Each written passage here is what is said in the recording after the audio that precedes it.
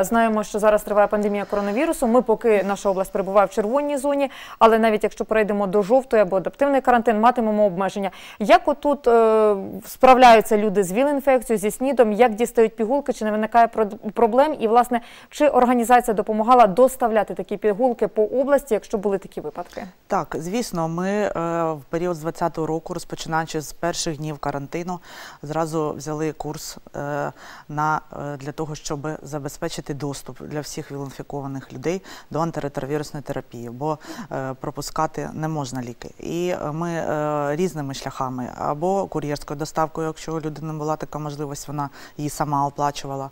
Випадки були, ми оплачували кур'єрську доставку, або розвозили навіть на машині, або на таксі соціальний працівник розвозив, або транспортував самого клієнта, пацієнта до ЦНІ-центру. Ем, Це в разі, якщо необхідно було зробити аналізи. Е, Бо е, людина, як ми знаємо, вілонфікована, вона повинна регулярні обстеження проводити, специфічні такі медичні обстеження для того, щоб знати свій стан е, імунітету.